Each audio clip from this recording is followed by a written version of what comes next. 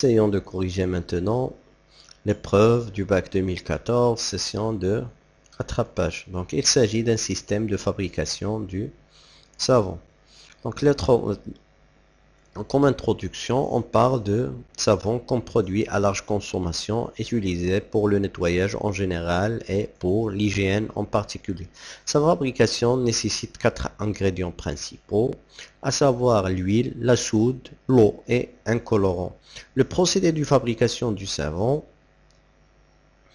le plus fréquent est celui de la saponification à chaud, où ces ingrédients sont cuits à la plus de 100 degrés Celsius et transformée principalement en pâte de savon.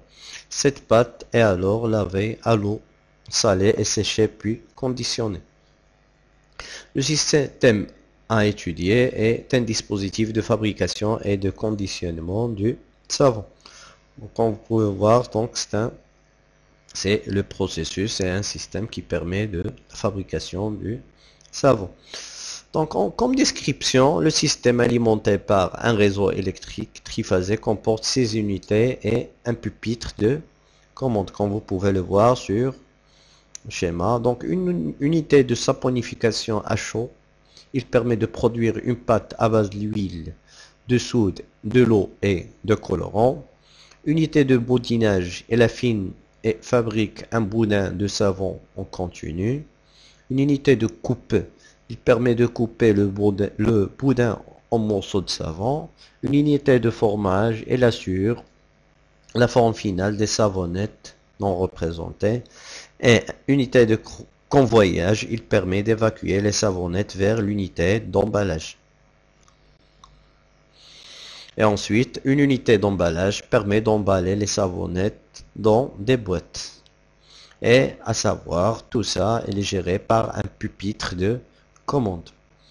Donc, en ce qui concerne le fonctionnement, donc la pâte issue de l'unité de saponification arrive dans l'unité de boudinage. Dans cette unité, un vis d'Archimède animé par un moteur M1 comprime le savon et l'achemine vers la tête d'extrusion, tête de boudineuse.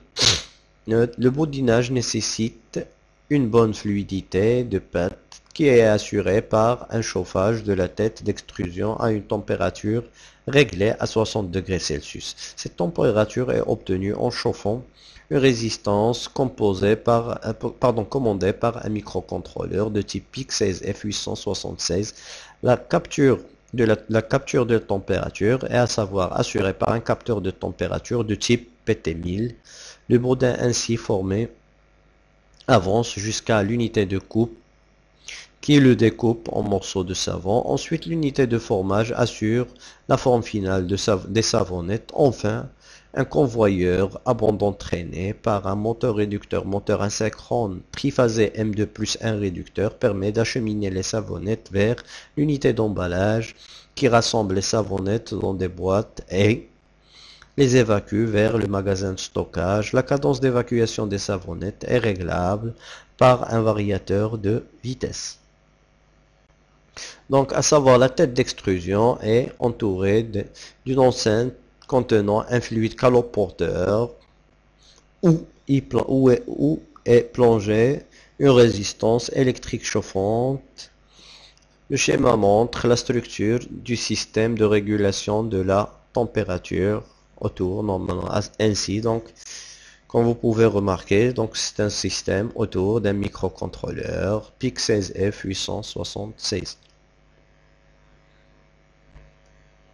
Donc le système est à base du microcontrôleur PIC16F876. L'action de chauffe est réalisée par une résistance électrique RCH, une résistance chauffante. L'interface entre la résistance de, de chauffe et le microcontrôleur est assurée par un gradateur à train d'onde basé sur un relais, statique avec isolation par un gradateur à train d'onde basé sur le relais statique avec isolation galvanique. Pour la capture de la température, on utilise une résistance au platine, ce qu'on appelle une PT100. Donc, et ça, c'est le schéma complet. Donc maintenant, on va aborder le système d'acquisition. Donc, à savoir, ce système d'acquisition permet de renvoyer au microcontrôleur via l'entrée RA1 une tension proportionnelle à la température de la tête de la broudineuse pour ce circuit de conditionnement du signal issu de la température RT, la tension, à savoir assez bonne, une tension UPT. On considère ce qui suit par la suite, des suppositions. Donc les amplificateurs opérationnels sont supposés parfaits. Le montage autour du transistor T1 réalise un générateur de courant constant I0 hmm, d'une valeur d'un milliampère. Donc ce qu'on peut voir sur ce schéma. La résistance RT de type PT100 est caractérisée par RT égale R0 facteur 1 plus alpha fois T. Alpha à savoir égale 3,95 10 3 degrés Celsius moins 1. R0 égale 1000 ohms à T égale 0. On donne R5 égale R6 égale R7 égale R8 égale à R9 égale à R égale, pardon, R égale à R11. On considère le schéma suivant. Donc la première question c'est de montrer que à savoir de montrer que US égale US1 moins US2. Ensuite US1 moins US2 égale UPT moins URF facteur de 1 plus 2R sur R10 sachant que I égale UPT moins URF sur 10, qui est égal US1 moins US2, le tout divisé par 2R plus R10. On doit montrer ensuite que UPT égale R0 plus R0 pardon fois I0 plus R0 facteur de alpha fois T fois I0 donc, on doit déduire des relations précédentes que US égale R0 fois I0 plus R0 alpha T fois I0 moins URF, le tout facteur de 1 plus 2R sur R10. Pour quelles conditions on peut avoir US égale 1 plus 2R sur R10, facteur de R0 alpha fois I0 fois T? Et avec quelles conditions de là de la question 5, on peut, euh, on met, avec, pardon, avec la, condition de la question 5, on met US sous la forme US égale KS fois T. Donc, donner alors l'expression de KS. Donc, comme septième question, on veut pour une température de 100 degrés Celsius, US, US soit égal à 5 volts. Donc on doit déterminer la valeur de KS ainsi que de préciser son unité. Donc ensuite, on doit déterminer la valeur à laquelle doit être ajusté UF. À savoir, on doit démontrer que US égale US1 moins US2. Donc, on a l'amplificateur opérationnel 3 fonction en régime linéaire, à savoir, on a une contre-réaction négative à travers la résistance R5. D'où V plus égale V moins. Donc, en appliquant le diviseur de tension, pour diviseur de tension, on, aura V plus égale US1 multiplié par R8, le le tout divisé par R7 plus R8, à savoir on a R7 égale R8, donc on aura égal à R, on aura donc R sur 2R, on aura US égale US1, sur, pardon, V plus égale US1 sur 2, puisque les résistances sont à égalité. Donc R sur 2R, ça donne 1 sur 2, multiplié par, euh, multiplié par US1, on aura US1 sur 2. Ensuite, en appliquant et en appliquant le théorème de Millman, V- égale, euh, pardon, on a V- égale, à savoir V- égale US2 sur R6 plus US5, euh, pardon, US sur R5, le tout divisé sur 1 sur R6 plus 1 sur R5 qui est égal, à savoir on a les, deux, tous les résistances sont à égalité. Donc on aura US1 pardon, US2 plus US sur R.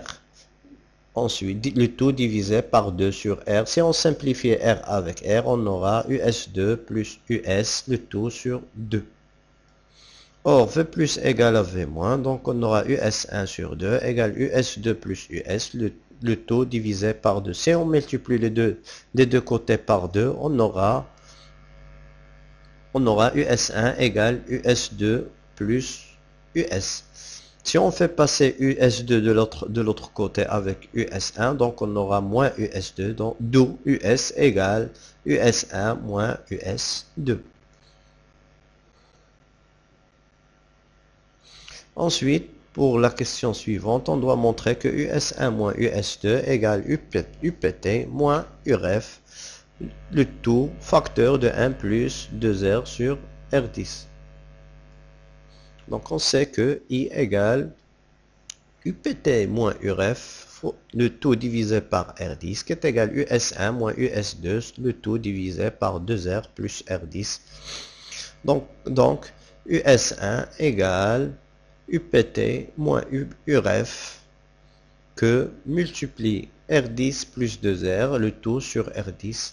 Donc si on simplifie, donc on aura US1 moins US2 égale UPT moins UREF facteur 1 plus 2R sur R10. Donc, comme question 3, on doit montrer que UPT égale R0 fois I0 plus R0 alpha T fois I0. Donc en appliquant la loi d'Ohm, on, peut avoir, donc on aura UPT égale RT fois I0. Or, RT égale R0 facteur de 1 plus alpha fois T. Donc si on remplace RT par sa valeur, on aura tout simplement UPT égale R0 fois I0 plus R0 alpha fois T fois I0. Donc on doit déduire des relations précédentes que US égale R0 fois I0 plus R0 alpha T fois I0 moins URF, le tout, facteur de 1 plus 2R sur R10. On sait que US égale US1 moins US2 qui est égal UPT moins URF facteur de 1 plus 2R sur R10. Et on sait que UPT égale R0 fois I0 plus R0 fois alpha T fois I0. Donc on va essayons de remplacer UPT dans la formule précédente. Donc on aura US égale R0 fois I0 plus R0 alpha T fois I0 moins URF facteur 1 plus 2R sur R10. Donc pour quelles conditions on aura US égale 1 plus 2R fois R10 facteur de R0 alpha fois I0 fois T. Donc on veut que US qui est égal déjà R0 fois I0 plus R0 fois alpha T fois I0 moins URF fois euh, moins URF le tout facteur de 1 plus 2R plus 1 plus 2R sur R10 on doit être, il doit être égal 1 plus 2R sur R10 facteur de alpha facteur de alpha moins euh, pardon, facteur de R fois alpha fois I0 fois T. Donc, tout d'abord, on va simplifier par les deux parties. On va diviser par 1 plus 2R sur R10. Donc, on va simplifier. Donc, ça va rester que les deux. Donc, on va simplifier par ça. Et on va ensuite simplifier par R0 alpha T fois I0. Le reste, ça sera on, aura que R0 fois I0 moins URF égale 0. Donc c'est le reste de, des deux égalités. De cette égalité, le reste c'est que R0 fois I0 moins URF, ça sera égal à 0. Donc URF, automatiquement, si on fait passer URF de l'autre côté, donc on aura URF, moins URF, on la passe de l'autre côté, on aura plus R URF. Donc URF égale R0 fois I0, c'est la condition qu'on doit vérifier pour avoir US égale 1 plus 2R divisé par R10, le tout facteur de R0 alpha I0 fois T. Avec la condition de la question 5, on met US sous la forme US égale KS fois T, donnez alors l'expression de la constante KS.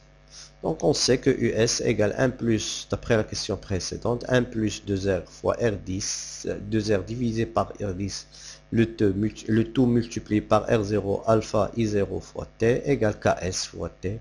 Donc on simplifie euh, la température dans l'égalité des deux, des deux côtés, on divise par T.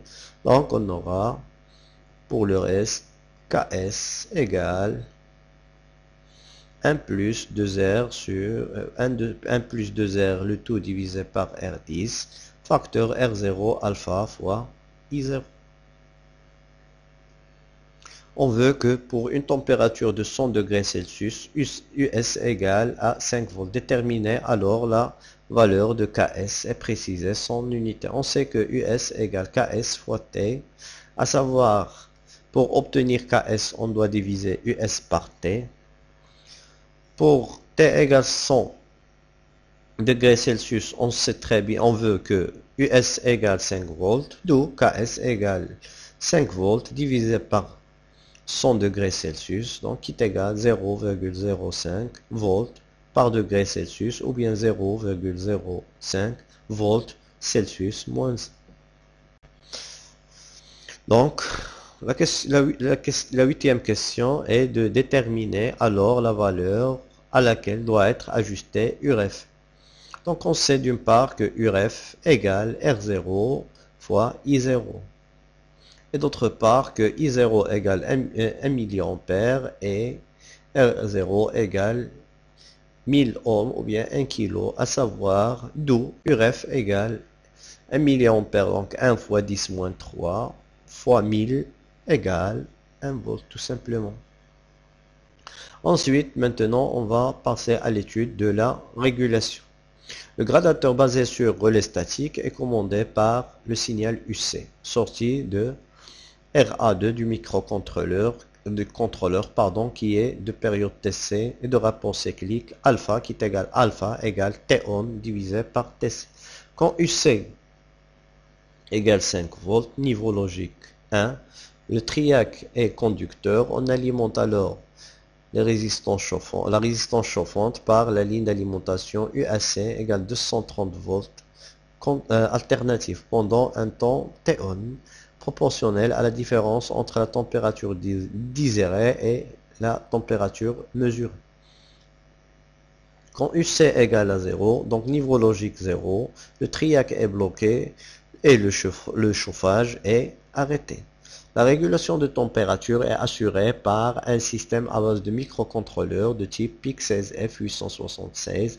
Le principe de cette commande consiste à lire la consigne représentée par la tension consigne recueillie au curseur du potentiomètre P1, fournissant une tension comprise entre 0,5 V correspondant à une température désirée, donc température de consigne, comprise entre 0 et 100 degrés Celsius, selon un coefficient proportionnel cassé. Cette tension appliquée à l'entrée RA0 est convertie en un nombre de 10 bits par le convertisseur analogique numérique interne du microcontrôleur. Ensuite, on va lire la température de la tête de la boudineuse représentée par la tension US fournissant une tension comprise entre 0 et 5 volts correspondante à une à une température mesurée TS, comprise entre 0 et 100 degrés Celsius, selon un coefficient de proportionnalité KS. Cette tension appliquée à l'entrée de RA1 est convertie en un nombre de 10 bits par le convertisseur analogique numérique interne du microcontrôleur. Comparer ces deux tensions, USE, U consigne et US de sortie, et commander RCH selon la technique Pulse Width Modulation PWM ou bien ce qu'on appelle MLI, modulation de largeur d'impulsion d'une façon proportionnelle 4T. À la différence, epsilon, U consigne moins US. Le signal binaire de commande UC est la fréquence et de fréquence fixe et de rapport cyclique alpha variable en fonction variable en bref, si US, U consigne moins US inférieur ou égal à 0, donc T on égale à 0. Si U consigne moins US supérieur à 0, Donc Ton égale 4T fois la tension du coup fois, U, fois epsilon est égal 4T fois U consigne moins US avec 4T égale 64.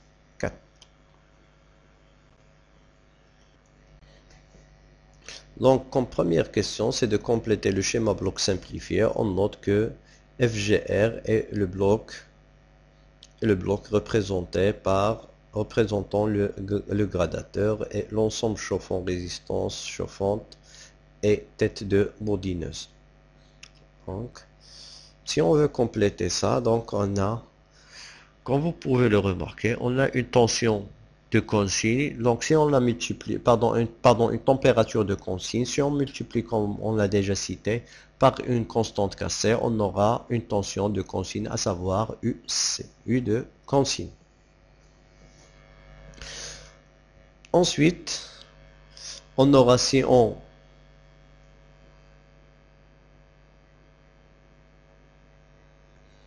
Donc, quand on le sait, donc on a à la sortie, c'est la température de sortie.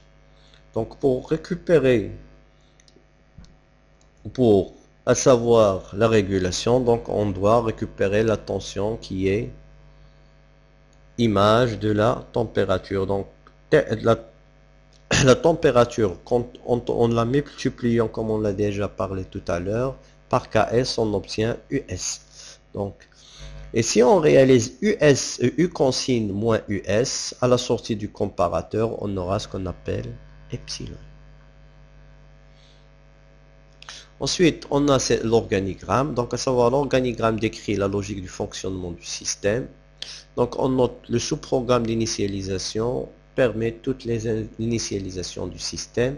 Le sous-programme d'acquisition permet de lire la température de la consigne et la température mesurée, elle est stockée respectivement au case mémoire, valeur de consigne et valeur de, la mesure, valeur de température mesurée. Ensuite, le sous-programme PW, PWM permet la commande de la résistance chauffante RCH suivant la technique MLI, une case mémoire erreur contient le mot de commande utilisé par PWM. On rappelle que multiplier un nombre n par un nombre binaire égal à 2 à la puissance k revient à décaler à gauche k fois ce nombre. C'est donc une itération dont le nombre est stocké dans une case mémoire index, dans notre cas, c'est de 6. Donc, on demande de compléter le programme suivant en langage assembleur en se basant sur le jeu d'instructions. Donc, pour compléter le programme, on doit, faire, on doit se baser sur l'organigramme qui nous a fourni. Donc, tout d'abord, pour la première ligne, donc, on doit faire appel. Donc, on a comme commentaire, c'est l'initialisation. Donc, on doit faire appel à l'initialisation. Donc, on fait, on fait appel au programme d'initialisation. Donc, call initialization. Ensuite, après, si vous, si vous voyez, on a start, initialisation. Ensuite, acquisition. Ensuite, c'est la mesure de l'erreur. Donc, comment mesurer l'erreur? C'est réaliser la soustraction entre la valeur de la consigne et la valeur de la température. Donc, l'instruction qu'on va mettre ici pour réaliser la soustraction, c'est tout simplement, c'est SAB. SAB, c'est l'instruction qui permet de réaliser la soustraction. Donc, SAB, WF. Donc, après le calcul de la différence, à savoir l'erreur, qu'est-ce qu'on doit faire? Donc, on doit réaliser un test si l'erreur est inférieure ou bien égale à 0. Donc, tout d'abord, on doit tester si le retenu égal à 0. Donc s'il est égal à 0, donc automatiquement, le résultat sera négatif. Sinon, on doit aller tester est-ce que c'est le résultat est nul. Donc, on doit mettre ici. Donc, s'il est nul, le bit sera à 1. Donc, on doit tester. Sinon, on doit aller à erreur 0. Donc, ce qu'on a fait, donc ici go to. Et maintenant, on va mettre le test de Z. Donc, BTFSC. Donc, s'il n'est pas à 0, s'il n'est pas à 0, on doit aller à erreur. S'il n'est pas égal à 0, on doit aller à, à l'erreur 0. Sinon, on doit aller à l'erreur. Ensuite, multiplié par 64, on a dit c'est le fait de réaliser une itération de 6 fois pour déplacer, à savoir pour décaler à gauche. Donc, on charge le registre W par la valeur 0,6. Ensuite, cette valeur, on la transfère vers index. Ensuite, on met le bit du retenu à 0 et on commence les, le décalage, donc RLF. Ensuite, si on termine, si, si on n'a pas arrivé à les six, les six déplacements, on revient toujours à multiplier, à multiplier 16. Donc on recommence jusqu'à ce qu'on arrive à 16. Ensuite, on doit, on charge la valeur par 255. On la charge dans erreur. Ensuite, erreur 0, ça revient de mettre le registre, l'adresse de la case mémoire à 0. Donc ici, d'après le commentaire, si on veut remettre ça à 0, il suffit de, mais de réaliser, là, de mettre l'instruction clear F. Donc clear F, c'est pour mettre la case mémoire à 0. Et si on doit faire appel au programme de modulation de largeur d'impulsion, donc call PWM, et ici, quand, on termine, on doit boucler pour revenir à acquisition. Donc, qu'est-ce qu'on va faire? Donc, l'étiquette qu'on a ici, c'est loop. Donc, on va mettre go to loop. Et comme ça, on a pu réaliser le programme en langage assembleur. Et merci pour votre